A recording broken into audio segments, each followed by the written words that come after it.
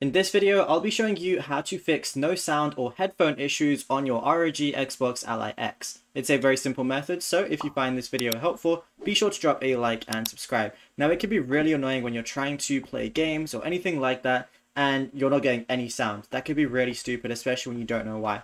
So what you want to do firstly is head on over to the command center. Now it's a very obvious one, but sometimes whenever you switch your operating mode, like if I go to performance, as you can see my brightness has changed. So whenever you switch from like silent to performance to turbo, your volume and your brightness can also change depending on what it was last at. So if you just recently switched, go ahead and check your volume and just make sure it's actually turned up because sometimes you might be putting on silent and it might have been on mute.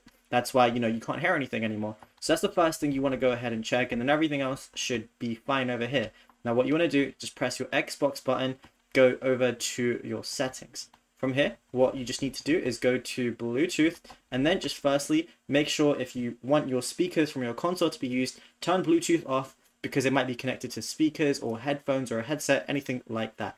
But if you're using like AirPods or anything like that, you all you have to go to is manage devices once Bluetooth is on. Then from here, I'd recommend using a mouse by the way on Windows mode.